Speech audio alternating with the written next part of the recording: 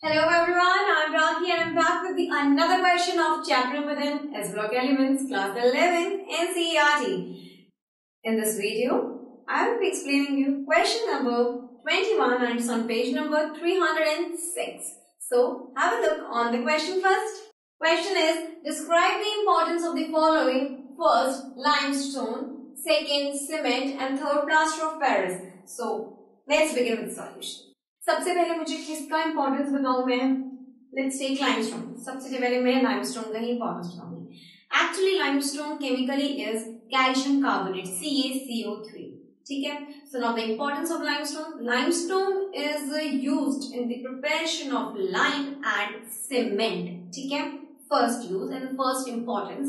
Second importance, limestone is used as a flux during the smelting of iron ore. ठीक है? So these are the two importance of limestone coming to the next which is cement now cement क्या है actually cement is chemically a mixture of calcium silicate and calcium aluminate ठीक है?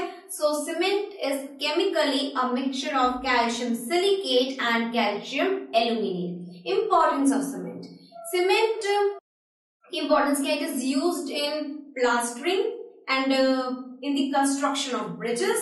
And second importance of cement anybody can tell?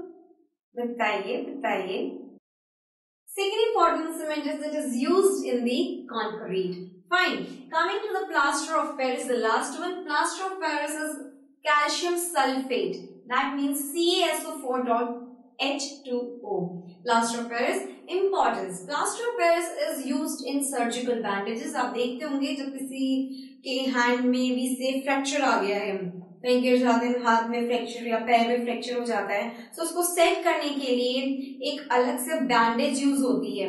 वो bandage जो होती है, वो plaster of Paris की बैंडेज होती है। So plaster of Paris is used in surgical bandages and second plaster of Paris can also be use for making of cast and mould आप देखते हैं कि कभी कभी घरों के अंदर क्या होता है कि ऊपर छत पे हम देखते हैं we see near the fans some of the design are be made और नियर द सीलिंग्स कुछ ना कुछ बना हुआ आता है it is white in colour and we just painted with different colour so what is actually it is it is actually the plaster of Paris ठीक है so plaster of Paris can be used for making cast and mold also fine so these were all the uses and the importance of the following three parts which is given in the question i feel there is no doubt regarding the importance which i have told you over here. But still i can't say about you all. Anybody can ask me any questions so you all are welcome with your doubts. Do write your doubts in the space given below. Well this brings me to the end of the session and it's me Raki saying you all goodbye